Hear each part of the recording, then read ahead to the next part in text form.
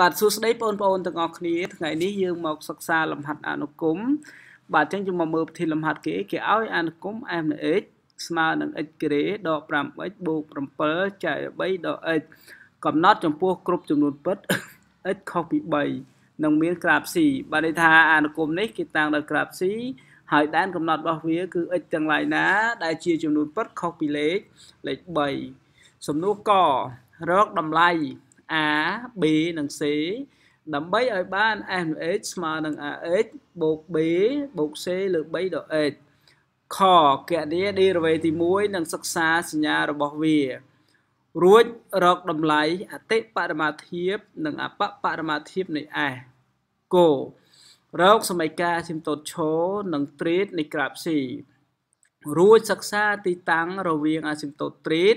និងក្រាប C ខបង្ហាញថាចំណុចប្រសព E នៃអាស៊ីមតូតទាំងពីរនៃខ្សែកោងជាផ្ចិតឆ្លោះងសង់តារាងអធិរភាពនៃ S និងក្រាប C នៅក្នុងតម្រុយអូតូ normal បាទអញ្ចឹងយើងមកមើលចម្លើយករកតម្លៃ A B និង C ដើម្បីឲ្យបាន f នៃ x ស្មើ ax បូក b បូក c លើ3ដល់ x បាទអញ្ចឹងយើងមាន បាទយើងមានអានគុំដែលគេចង់បាន SH ស្មើនឹង AH បូក B បូក C លើ3ដល់ x ហើយអានុគមដែលគេឲ្យមកគឺ SH ស្មើនឹង x ក្រេដក 5x បូក7លើ3ដល់ x បាទអញ្ចឹងរបស់ដែលគេចង់បានគេចង់បាន NH មានរាងបែបនេះហើយគេចង់បានគឺតម្លៃ A B និង C បាទអញ្ចឹងយើងមានអនុគម2អានេះអនុគមដែលគេឲ្យមកហើយអានេះគឺគេចង់បំបែកឲ្យចេញរាងអញ្ចឹងតើណា បាទអញ្ចឹងដើម្បីរកតម្លៃ A និង B នេះបាន គឺយើងយកអនុគមទាំងពីរនេះមកផ្ទឹមគ្នាណាយើងអនុគមទាំងពីរហ្នឹងមកផ្ទឹមគ្នា បាទអញ្ចឹងនោះគេបាន បាទដល់យើងផ្ទឹមគ្នាទៅ នោះគេបាន AX បូក B បូក C លើ3ដល់ x វាស្មើនឹងអឺ x ក្រេដក 5x បូក7លើ3ដល់ x បាទអញ្ចឹងដើម្បីរក ABC នេះយើងត្រូវផ្ទឹមសមីការទាំងពីរឬអនុគមទាំងពីរហ្នឹងដាក់ផ្ទឹមគ្នាបន្តមកទៀត ដើម្បីបូករដកចំនួននេះបានកន្សោមនេះបានយើងត្រូវតម្រូវភាពបាយរួមអញ្ចឹងភាពបាយរួមរបស់យើងនៅពេលនេះគឺយើងត្រូវយក3ដក x ណាបាទអញ្ចឹងយើងត្រូវគុណកន្សោមនេះអាកន្សោម ax បូក b នេះត្រូវគុណនឹងកន្សោម3ដក x បាទនេះដើម្បីតម្រូវភាពបាយរួមតើណាបាទអញ្ចឹងយើងឃើញថា កតា ax បូក b កតា3ដក x បូក c លើ3ដក x ស្មើនឹង x ការ៉េដក 5x បូក7លើ3ដក x តើណាបាទក្រោយពីយើងតម្រូវភាពបាយរួមនេះហើយយើងត្រូវលុបភាពបាយរួមចោលតើណាយើងត្រូវលុបភាពបាយរួមចោលបាទអញ្ចឹងក្រោយពី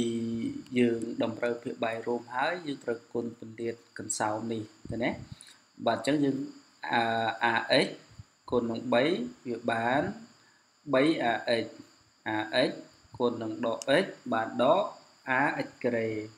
បូក b គុណ3បានបូក 3b b គុណដក x បានដក bx បាទ c ដដែលតែណាហើយអង្គទី2អឺស្មើនឹង x ក្រេដក 5x បូក7បាទអញ្ចឹងយើងបដុំណាបដុំទៅតាមដឺការ៉េរបស់វា បាទដឺការ៉េទី ទី2ទៅម្ដុំដឺក្រេទី1ទៅម្ដុំតើណាបាទចានេះដឺក្រេទី2ដក ax ក្រេណាយើងដាក់ម្ដុំនេះតើមកអានេះមាន x អានេះ x ក៏យើងបដុំវាដែរដែលយើងចាប់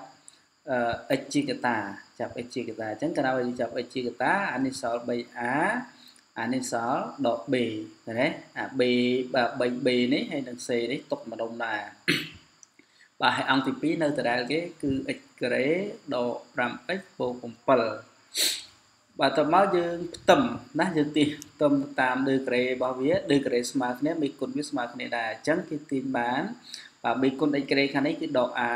មេគុណ x ក្រេខាងនេះគឺ1អញ្ចឹងណាអញ្ចឹងយើងទាញបានដក a ស្មើ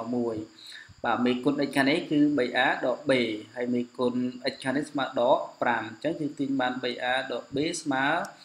ដក5 ណាហើយអានេះអត់ជាប់ពេចទេយើងទាញបដុំវាដែរអញ្ចឹងបាន 3b បូក c ស្មើ7បាទនេះគាត់មាន x ដែរបាទអញ្ចឹងកន្លែងនេះយើងទាញរក a ទាញបាន a ស្មើដក1តើណាបាទបើសិនជា a ស្មើដក1យើងយកមកជំនួសកន្លែងនេះទៅបានន័យថា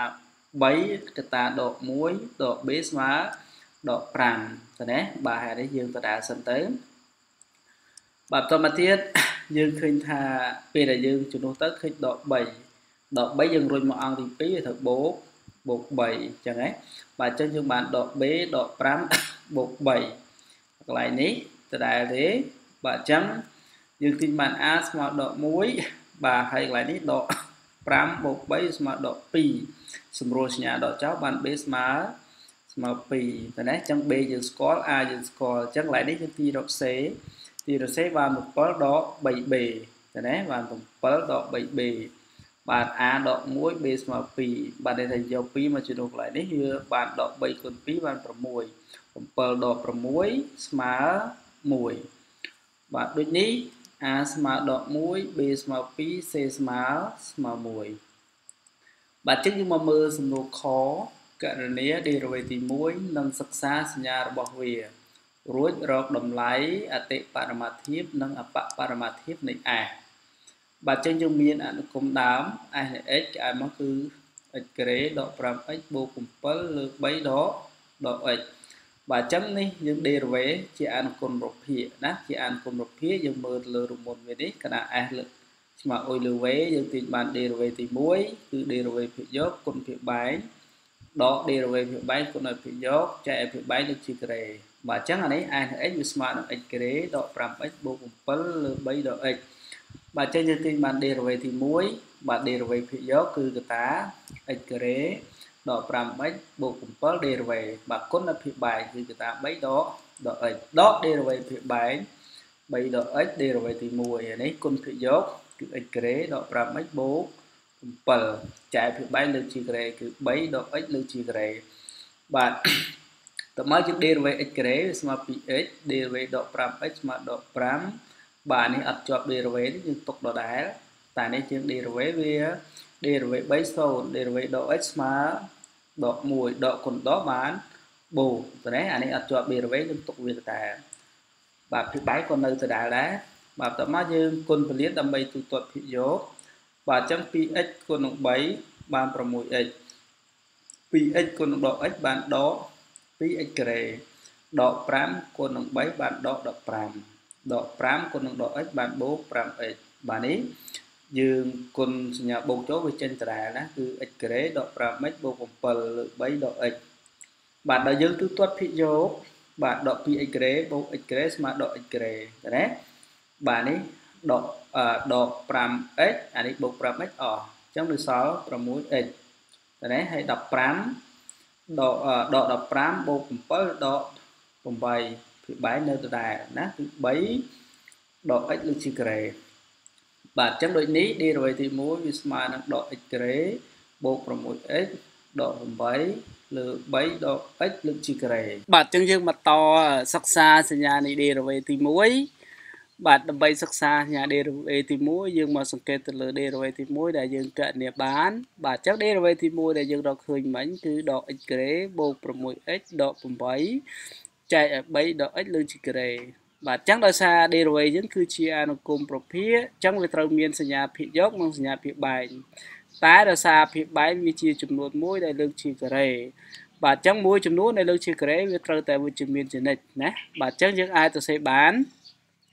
បាទដោយ3ដក x លើកជាការ៉េវិជ្ជមានគ្រប់ x ជារបស់ដែនកំណត់នោះ derivative ទី1មានសញ្ញាណាបាទន័យថាភាគបែងនេះជាចំនួនវិជ្ជមាន អញ្ចឹង derivative វាមានសញ្ញាតាមតែភាគភាគយកបាទអញ្ចឹងមានសញ្ញាតាមភាគយកដក x ការ៉េបូក 6x ដក8បាទដោយសារភាគយកជាឌឺការ៉េទី2ចឹងហ៎បាទហើយយើងត្រូវសិក្សាសញ្ញារបស់វាអញ្ចឹងយើងត្រូវរករឹសរបស់វាអញ្ចឹងយើងឲ្យលក្ខខណ្ឌវាស្មើ0បាទអញ្ចឹងបើដក x ការ៉េបូក 6x ដក8ស្មើ0វាជាសមីការឌឺការ៉េទី2យើងដោះតាមរំមុនដែលតាបាទអញ្ចឹង គេបានតែតារួមមុនវាគឺ b ការ៉េដក4ដង ac បាទដោយ b របស់យើងគឺ6បាទ a យើងដក1 c ដក8អញ្ចឹងហ៎បាទអញ្ចឹងវាស្មើនឹងដកសំទោសវាស្មើនឹង6ការ៉េដក4កតាដក1កតាដក8បាទអញ្ចឹងយើងទូទាត់ទៅវាស្មើនឹង36ដក32បាទដកគ្នាទៅវាស្មើនឹង4បាទអញ្ចឹងយើងទាញរករឹស delta ស្មើរឹស4ឬ4ចេះបាន បាន2បាទអញ្ចឹងគេទិញបាន x អងស្មើដក b បូករូតតាចែក 2a បាទអញ្ចឹងវាបានដក6បូក2លើ2គឺតាដក1បាទអញ្ចឹងយើងទូទាត់ទៅវាស្មើនឹង2ឬក៏ x ដឺស្មើដក b ដកឬ delta ចែកឲ្យ 2a បាទដល់យើងជំនួស b ទៅឬ delta ចូលមកបាទអញ្ចឹងយើងទូទាត់វាទៅភាគយកនឹងភាគបែបនេះយើងទូទាត់ឲ្យស្មើ4 បាទបន្តមកទៀតយើងមកសិក្សាគូសតារាងសញ្ញានៃ derivative ទី1បាទអញ្ចឹងដើម្បីគូសតារាងសញ្ញានៃ derivative ទី1យើងគូសបែបនេះតែណាបាទយើងគូសបែបនេះមកបាទនេះយើងដាក់អធិ x អានេះយើងដាក់ derivative ទី1តែណាបាទក្រោយពីយើងគូសចឹងហើយយើងដាក់ដែនកំណត់ចូលតែណាយើងដាក់ដែនកំណត់ចូលពីដកអណន្តទៅដល់បូកអណន្តលើកលេខលេខលេខ3 តមកទៀតយើងដាក់រឹស derivative ចូលណាដាក់រឹស derivative ចូលតាមលំដាប់ពីតូចទៅធំអញ្ចឹងបាទ2 4បាទដោយសារ2និង4នេះជារឹសនៃ derivative នេះបាទអញ្ចឹងកន្លែងនេះយើងត្រូវដាក់0តើណាបាទកន្លែងនេះយើងដាក់0បាទដោយសារ derivative យើងមានរឹស2ពី4និង2ចឹងណាចឹងនៅចន្លោះ2និង4នេះគឺមានសញ្ញាផ្ទុយ a បាទសញ្ញាផ្ទុយ a យើងគឺមើល derivative ណាមិនមែនមើលអនុគមដើមនេះទេបាទ a យើងនេះណាគឺដក1មិនមែនមើល a អនុគមដើមទេ បាទអញ្ចឹងផ្ទុយពីដកគឺបូកទៅណាបាទសងខាងឬខាងនេះធំជាង4តូចជាង2មានសញ្ញាដូចដូច a បាទអញ្ចឹងយើងដាក់សញ្ញាសញ្ញាដកបាទក្រោយពីយើងសិក្សាសញ្ញា derivative ហើយយើងអាចបញ្ជាក់តម្លៃបរមាធិបបានតែណាបាទចាក់តាមបញ្ជាក់តម្លៃបរមាធិបបាន បាទអញ្ចឹងយើងអាចសេបានថាតាមតារាងសញ្ញាឌីឌីរវេទី1ខាងលើក្រាបតាំងអនុគមមាន បាទអញ្ចឹងអនុគមនេះបើយើងសង្កេតទៅតើវាមានអីខ្លះកណាដកមកបូកអញ្ចឹងគឺមានអបបរមាហើយពីបូកមកដកចេះគឺអបបរមាអតិបរមាសំទោសណាគឺអតិបរមាបាទអញ្ចឹង យើងអាចឆ្លើយបានថាអបបរមាធៀបនៅត្រង់ x ស្មើ2បាទនេះបែរថាពីដកមកបូកគឺមានអបបរមាត្រង់ x ស្មើស្មើ2ហើយតម្លៃបាទអញ្ចឹងយើងចង់បានតម្លៃអបបរមាធៀបយើងត្រូវយក x ស្មើ2នេះជំនួសចូលក្នុងអនុគមដើមនេះណាជំនួសយកអនុគមដើមនេះបាទអញ្ចឹងបើ x ស្មើ2គេបាន s នៃ2ស្មើ2ក្រេដក5កតា2បូក7ចែកឲ្យ3ដក2អញ្ចឹងបានយើងទូទាត់ទៅវាស្មើនឹង1 បាទណាស្មើ1អញ្ចឹងបានន័យថាតម្លៃអបបរមាធិបរបស់វានេះណាអបបរមាធិបគឺ s នៃ2ស្មើស្មើ1បាទបន្តមកទៀតយើងឃើញថាពីបូកមកដកអញ្ចឹងអានគុំនោះមានអតិបរមាណាបាទអតិបរមាធិបនៅត្រង់ x ស្មើ4បាទហើយយើងចង់បានតម្លៃអតិបរមាធិបរបស់វាយើងយក4ទៅជំនួសក្នុងអានគុំដើមនោះទៀតណាបាទអញ្ចឹងបើ x ស្មើ 4អញ្ចឹងគេបាន s នៃ4ស្មើ4ក្រេដក5កតា4បូក7ចែកឲ្យ3ដក4បាទអញ្ចឹងយើងទូទាត់ចំនួននេះ បាទទៅគឺឃើញស្មើនឹងដក3បាទអញ្ចឹងដូចនេះតម្លៃអតិបរមាធិបគឺ s នៃ4ស្មើដក3បាទអញ្ចឹងយើងមកតសំណួរកទៀតគេឲ្យយើងរកសម័យកាលអាស៊ីតូតឈរនិងត្រេតនៃក្រាប C រួចសិក្សាទីតាំងរវាងអាស៊ីតូតត្រេតនិងក្រាប C បាទអញ្ចឹងយើងអាចកណនី limit យើងអាចរក asymptote ចូលបានដោយការកណនី limit x ខត្រលេខលើកលែងណាលេខដែលលើកលែងរបស់យើងគឺលេខ3អញ្ចឹងយើងកណនី limit x ខត្រ3ខាងឆ្វេងនៃអនុគម mx វាស្មើនឹង limit x ខត្រ3ខាងឆ្វេងនៃអនុគម x ការ៉េដក 5x បូក7លើ3ដក x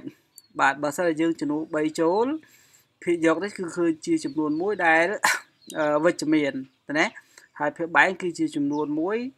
ស្មើ0ព្រោះ3ដក3វាស្មើ0ណាប៉ុន្តែវា0យើងនៅពេលនេះគឺ0បូកអញ្ចឹងកណ្ដាលលេខនៅលើ0វាចេញអនន្តដោយសារ0បូកវាចេញបូកអនន្តបន្តមកទៀតយើងគេតែលីមីត x ទៅ3ខាងស្ដាំនៃអនុគម m នៃ x នេះដែលស្មើនឹងលីមីត x ទៅ3ខាងស្ដាំនៃអនុគម x ការ៉េដក 5x បូក7លើ3ដក x បាទដូចគ្នាដែរយើងជំនួសទៅគឺអឺ ឃើញថាលេខភាគយកគឺជាលេខវិជ្ជមានហើយភាគបែងគឺជាចំនួនមួយដែលស្មើ0តែប៉ុន្តែ0នេះគឺ0ខាងខាងឆ្វេងអញ្ចឹងកណាលេខលើ0វាចេញអនន្តមែនដល់ថា0ដកវាចេញដកអនន្តបាទដូចនេះ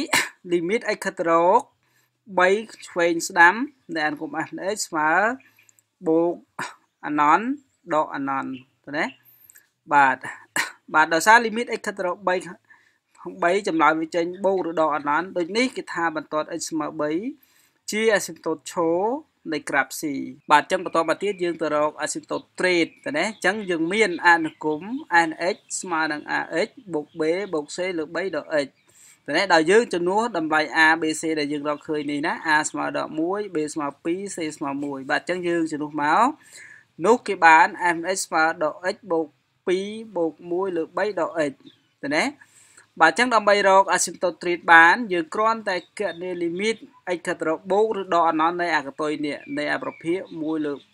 3ដក x នេះណាបញ្ជាក់វាថាវាស្មើ0ទៅអញ្ចឹងវានៅសល់លេខខាងមុខនេះប្រមាណហ្នឹងអាហ្នឹងគេហៅថា asymptote treat ណាបាទអញ្ចឹងដូចនេះបន្ទាត់ y ស្មើដល់ x បូក2ជា asymptote treat នៃក្រាប c បាទបន្តមកទៀតយើងសិក្សាទីតាំងរវាង asymptote treat និង graph C ណាបាទអញ្ចឹងដើម្បីសិក្សាទីតាំងរវាង asymptote treat និង graph C យើងត្រូវមាន asymptote treat សិននេះណាអញ្ចឹងយើងមាន y ស្មើដល់ x បូក2ជា asymptote treat ណាហើយនឹង s នៃ x ដែលគេឲ្យមកវាមាន2នេះ s នៃ x មួយវាស្មើប៉ុណ្នេះហើយ s f នៃ x មួយទៀតស្មើប៉ុណ្នេះដល់យើងចំនួន a b c ចូលមិញហ្នឹងណាអញ្ចឹងពេលដែលយើងសិក្សាទីតាំង asymptote treat នឹងក្រាប C យើងកុំយកអានេះមកណាយើងយកអាបំបែកហើយមកនេះមកធ្វើមកវាងាយជាងវាលឿនជាងណាបាទអញ្ចឹងគ្រូត្រូវយក s នៃ x ស្មើដល់ x បូក2បូក1លើ3ដល់ x ទៅណាបាទអញ្ចឹងដើម្បីសិក្សា asymptote trade គឺយើងយកខ្សែកោងដកបន្ទាត់ចេញដក asymptote trade ចេញណាបាទអញ្ចឹងគេបាន s នៃ x ដក y ស្មើដល់ x បូក2បូក1លើ3ដល់ x ហើយដក asymptote trade គឺកតាដក x បូកបូក2អញ្ចឹងកតានេះ ដក x បូក2អានេះដកកតា x បូក2អញ្ចឹងយើងទូទាត់ទៅវាអស់ហើយអញ្ចឹងវានៅសល់តែ1លើ3ដកដក x អញ្ចឹងអា1លើ3ដក x នេះយើងអត់ដឹងថាវាវិជ្ជមានឬអវិជ្ជមានទេអញ្ចឹងយើងត្រូវសិក្សាអានឹងសិនណាបាទអញ្ចឹងបានយើងថាសិក្សាសញ្ញានៃ1លើ3ដក x ទៅណាបាទដោយសារ3ដក x នេះជាសមីការទៅណាបាទអញ្ចឹងយើងត្រូវសិក្សានឹងភិកយកជាចំនួន1 គឺលេខ1អញ្ចឹងលេខ1គឺលេខវិជ្ជមានហើយអញ្ចឹងសញ្ញាវាអាស្រ័យទៅតាមតែភាពបែកអញ្ចឹងបាទយើងសិក្សាភាពភាពបែកណាបើ3ដក x ធំជាង0យើងទាញបានដក x ធំជាងដក3ឬក៏យើងសម្រួលសញ្ញាដកទៅយើងបដូរទិសដៅវិសមភាពណាអញ្ចឹងយើងបាន x តូចជាង3នោះយើងបាន nx ដក y ធំជាង0បាទអញ្ចឹងយើងទាញបាន nx ធំជាង y បាទបន្តមកទៀតយើងឲ្យលក្ខខណ្ឌបើ3ដក x តូចជាង0យើងទីបានដក x តូចជាងដក3ហើយយើងសម្រួលសញ្ញាដកចោលបដូរទិសដៅអានេះអញ្ចឹងវាបាន x ធំជាង3នោះ s នៃ x ដក y តូចជាង0អញ្ចឹងយើងទីបាន s នៃ x តូចជាង y បាទអញ្ចឹងយើងអាចឆ្លើយបាន បាទដូចនេះក្រាបតាំងអនុគមស្ថិតនៅខាងលើ asymptote trade កាលណា x តូចជាងដក3ដែរកាលណាវានៅធំជាងទេគេថានៅខាងលើ ហើយកណាវាតូចជាងគេថានៅខាងខាងក្រោមបាទមួយទៀតក្រាបតាំងអង្គមស្ថិតនៅខាងក្រោមម៉ាស៊ីនតូត្រៀតកាលណា x ធំជាង3ណានេះកាលណា s នៅ x តូចជាង y អញ្ចឹងគេឆ្លើយថាវានៅខាងខាងក្រោមបាទអញ្ចឹងយើងមកមើលសំណួរខតទៀតឲ្យបង្ហាញថាចំណុចប្រសព e នៃអាស៊ីមតូតទាំងពីរនៃខ្សែកោងជាផ្ចិត slope បាទអញ្ចឹងអាស៊ីមតូតយើងមាន2មិញណាគឺមានអាស៊ីមតូតឆនិងអាស៊ីមតូតត្រៀតអញ្ចឹង បាទនេះអញ្ចឹងយើងមានអាស៊ីមតូតឆ x ស្មើ3ហើយនឹងអាស៊ីមតូតត្រេតគឺ y ស្មើដល់ x បូក2បាទអញ្ចឹងយើងចង់រកចំណុចប្រសពរវាងអាស៊ីមតូតទាំងពីរនឹងសិនទៅណាបាទអញ្ចឹងដើម្បីរកចំណុចប្រសពរវាងអាស៊ីមតូតទាំងពីរនេះគឺយក x មកជ្រុះក្នុងអាស៊ីមតូតត្រេតទៅណាអញ្ចឹង x យើងស្មើ3អញ្ចឹងយើងទាញបាន y ស្មើដល់3បូក2អញ្ចឹងយើងទូទាត់ទៅវាស្មើនឹងដក1នោះគេបាន e មានករណី3ដក1 បាទហើយនេះគូដាក់ជារូបមន្តគឺ e មានករណី a a b បាទន័យថា a ស្មើ3 b ស្មើដកដក1បាទអញ្ចឹងយើងចង់បង្ហាញថាចំណុចមួយជាចិត្តឆ្លោះនៃខ្សែកោងគឺយើងអនុវត្តតាមរូបមន្តនេះគឺ s នៃ 2a ដក x បូក m x ស្មើ2ដង b តើណា a យើងមិនស្មើស្មើ3អញ្ចឹងយើងជំនួសចូលយើងបាន s នៃ6ព្រោះ2គុណ3បាន6តើណាអញ្ចឹងបាន s នៃ6ដក x បូក n x ស្មើដក 2b ព្រោះ b អញ្ចឹងវាដកដក1ទៅណាបាទអញ្ចឹងយើងមាន n x គឺស្មើនឹង x ក្រេដក 5x បូក7លើ3ដក x បាទអញ្ចឹងយើងទៅរក s នៃ 2a ដក x គឺ s នៃ6ដក x ទៅណាយើងយក6ដក x ជំនួសចូលអានគុំមិញនេះបាទអញ្ចឹងយើងបាន6ដក x លើជាក្រេដក5កតា6ដក x បូក7ណាលើ3ដកកតា6ដក x បាទអញ្ចឹងយើងពន្លាតអានេះចូលរួមមុន a ដក3លើកជាការ៉េតែណាអញ្ចឹងវាស្មើនឹង36ដក12បូក x ការ៉េបាទដក5គុណ6វាបានដក30អញ្ចឹងយើងគុណចូលអានេះយើងបានបូក 5x បូក7លើ3ដក6បូក x ណាដោយសារយើងគុណសញ្ញាដកនេះចូលណាគុណទៅបានដក6បូកបូក x បាទដល់យើងទូទាត់ភាគយកទៅវាបាន x ក្រេដក 7x បូក13ភាគបែងបាទដក3បូកបូក x បាទដោយសារយើងត្រូវបូក n x ហើយ n x យើងគឺតម្រង់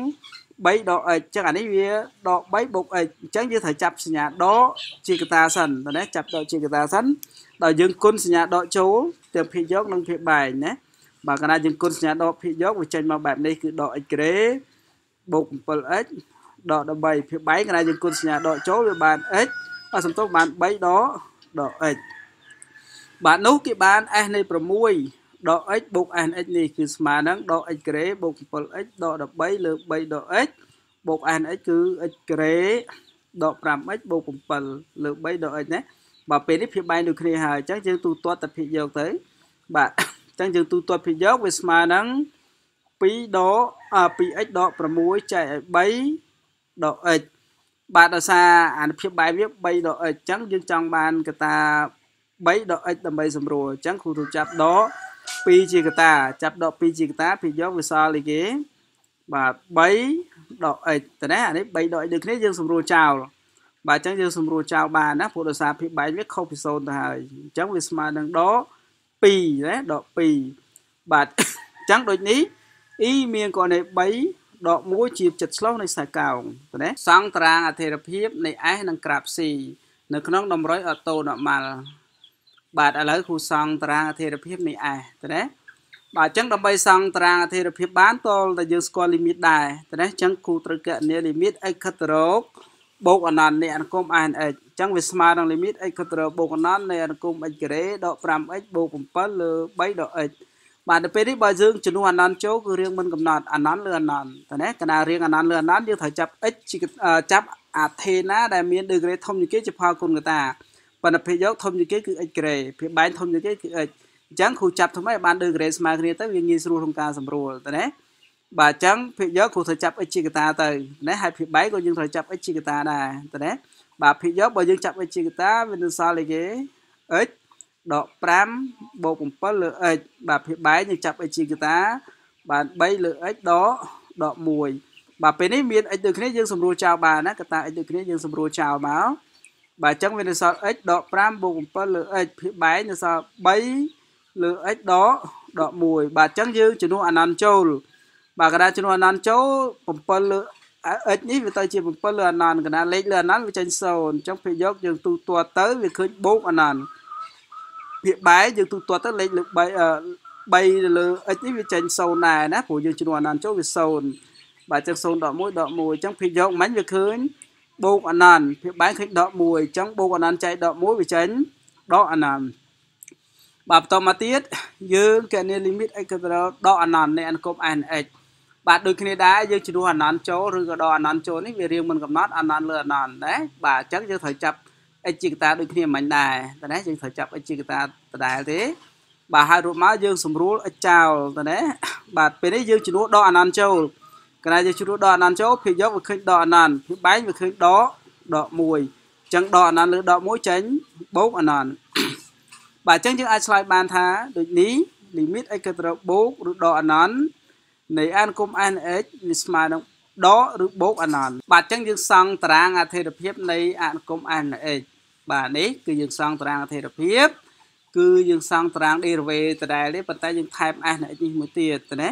បាទអញ្ចឹងកន្លែងនេះយើងដឹងហើយគឺយើងដាក់ដែនកំណត់ចូលទៅណាដែនកំណត់ពីដកអនន្តទៅដល់បូកអនន្តលើកលែងលេខ3តើមកយើងដាក់សញ្ញា derivative ចូលដែលយើងសិក្សារួចហើយទៅណាបាទកណាដកយើងគូសព្រួញព្រួញចុះបូកយើងគូសព្រួញព្រួញឡើងអានេះបូកយើងគូសព្រួញឡើងដកយើងគូសព្រួញចុះអញ្ចឹងអ្វីដែលយើងត្រូវបន្ថែមនេះអាដើមព្រួញចុងព្រួញណាដើមព្រួញ ចុងព្រួញបាទដើមព្រួញយើងមើលនេះ limit x ដកអនន្តតើណាអញ្ចឹងយើងគណនា limit x ដកអនន្តមិញឃើញចម្លើយបូកអនន្តហើយ limit x 3ខាងឆ្វេងវាចេញអីគេចេញបូកអនន្តដែរអញ្ចឹងយើងកន្លែងហ្នឹងយើងដាក់បូកអនន្តបូកអនន្តហើយ limit x ក៏ត្រូវ3ខាងស្ដាំវាឃើញដកអនន្ត limit x ក៏ត្រូវបូកអនន្តចម្លើយវាចេញដកអនន្តអញ្ចឹងយើងត្រូវដាក់ដកដកអនន្តបាទអញ្ចឹងយើងតមកទៀត គឺយើងសង់ក្រាប C បាទអញ្ចឹងនៅក្នុងក្រាប C យើងមិញមានអាស៊ីមតូតឈរនិងអាស៊ីមតូតត្រេតអញ្ចឹងយើងត្រូវសង់របស់ណាងាយងាយមុនបាទអញ្ចឹងយើងត្រូវសង់របស់ណាងាយងាយមុនដូចជាអាស៊ីមតូតត្រេតនិងអាស៊ីមតូតឈរអញ្ចឹងណាបាទចឹងនេះគូសង់បន្តអាស៊ីមតូតឈរ x ស្មើ3ណាអានឹងរបស់ងាយយើងត្រូវសង់អានឹងមុនបន្តមកទៀតយើងត្រូវសង់អាស៊ីមតូតត្រេតគឺ y ស្មើដល់ x បូក2បាទចឹងដើម្បីសង់បន្តនេះបានយើងត្រូវឲ្យតម្លៃលេខបាទណានេះគឺឲ្យតម្លៃលេខ យើងឲ្យតែ2ចំណុចទេយើងអាចសង់បានបន្តមួយហើយណាអញ្ចឹងយើងឲ្យ x ស្មើអីក៏បានដែរនៅពេលនេះណាឲ្យ x ស្មើអីក៏បានដែរឲ្យតែលេខហ្នឹងងាយងាយស្រួលគិតណាបាទឥឡូវគួរឲ្យ x ស្មើ0យើងយក0មកជំនួសកន្លែងនេះអញ្ចឹងសល់ y y ស្មើ0បូក2អញ្ចឹងវាធ្វើ y ស្មើ2តើណាបាទបន្តមកទៀតគឺយក x ស្មើស្មើ1ស្មើ1មកជំនួសវាបានដក1បូក2អញ្ចឹងយើងទូទាត់ស្មើស្មើ1ណា បាទតមកទៀតយើងត្រូវសង់ក្រាប C បាទក្រាប C គឺអនុគម nx ស្មើនឹង x ការ៉េដក 5x បូក7លើ3ដក x បាទអញ្ចឹងដើម្បីសង់ក្រាបនឹងបានយើងឲ្យតម្លៃលេខដែរបាទនេះយើងគូសតារាងតម្លៃលេខបាទ x y បាទក្រោយពីយើងគូសតារាងចឹងហើយយើងត្រូវដាក់អាលេខលើកលែងហ្នឹងមុនគេចូលតើណាដាក់លេខលើកលែងចូលបាទបន្តមកទៀតយើងដាក់ចំណុចអតិអបៈចូលមុនគេហើយដែរណាគឺអតិអបៈនេះយើងដាក់នេះហើយតើណា បាទតមកនៅលេខដែលតូចជាង2គឺមានលេខយើងឲ្យលេខ0លេខ1ហើយចន្លោះពីលេខ2ដល់លេខ3គឺមានអត់មានលេខគត់ទេអញ្ចឹងយើងបង្ខំចិត្តឲ្យលេខ2កន្លះទៅណាអញ្ចឹងយើងឲ្យ x ស្មើ2កន្លះបាទហើយពី3ទៅដល់4ក៏មានលេខគត់ដែរអញ្ចឹងយើងឲ្យលេខ3កន្លះដែរតែហើយធំជាង4យើងឲ្យលេខគត់មកមានលេខ5 6បាទអញ្ចឹងយើងបើ x ស្មើ0ណាយើងយកវាមកជំនួសក្នុងអានគុំដើមកន្លែងនេះ តើណាបាទអញ្ចឹងបើ x ស្មើ0យើងទាញបាន n 0បាទយើងយក0មកជ្រុះក្នុងអានគុំនឹងដើមទៅអញ្ចឹងយើងឃើញថា7លើលើ3តើណាអញ្ចឹងបាន y ស្មើ7លើ3បាទអញ្ចឹងបន្តមកទៀតយើងយក x ស្មើស្មើ1បាទបើ x ស្មើ1យើងទាញបាន s នៃ1យើងទូទាត់ជំនួសចូលវាបាន3លើលើ2តមកទៀតយើងយក x ស្មើ2កន្លះតើណាបើ x ស្មើ2កន្លះជំនួសចូលយើងទូទាត់ស្មើនឹង1កន្លះទៅ ណាបាទអញ្ចឹងកន្លែងនេះបាន1កន្លះឬក៏3ភាគ2តមកទៀតយើងយក x ស្មើ3កន្លះណា3កន្លះយកមកជំនួសចូលអនុគមយើងទូទាត់វាឃើញដក3កន្លះទៅណាដក3កន្លះបាទដក3កន្លះបាទអញ្ចឹងបន្ទាប់មកទៀតយើងយក x ស្មើ5មកជំនួសចូលអនុគមដើមនេះដែរណាបាទអញ្ចឹងបើ x ស្មើ5គេបាន s នេះ5យើងជំនួសចូលមកហើយយើងទូទាត់ទៅវាស្មើនឹងដក7លើលើ2អញ្ចឹង y ស្មើដល់7លើ2 បន្តមកទៀតយើងថាយក x ស្មើ6ជំនួសចូលអានគុំដើមនឹងដែរណាបើ x ស្មើ6គេបាន s នៃ6យើងជំនួសចូលហើយយើងទូទាត់វាទៅវាស្មើនឹងដក13លើលើ4ណា13លើដក13លើ4បាទបន្តមកទៀតយើងអាចសង្ក្រាប C ណាអញ្ចឹងរបស់ដែលងាយគឺ asymptote ឈរនិង asymptote trade អញ្ចឹងយើងត្រូវសង្ក asymptote ឈរមុនគឺ x ស្មើស្មើ3ណាយើងសង្កនេះឲ្យមុនតើណាតើមក asymptote trade ណាយើងត្រូវសង្ក asymptote trade ឲ្យហើយ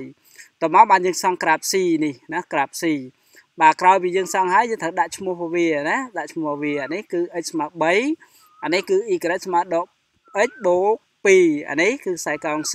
តាំងដោយអនុគម s នៃ x ស្មើ x ការ៉េដក 5x បូក7លើ3ដកដក x បាទហើយខាងក្រោមនេះគឺជាលំហាត់សម្រាប់ឲ្យយើងធ្វើជាកិច្ចការផ្ទះបាទណាអញ្ចឹងថ្ងៃនេះយើងមានប៉ុណ្ណឹងណាបាទអរគុណ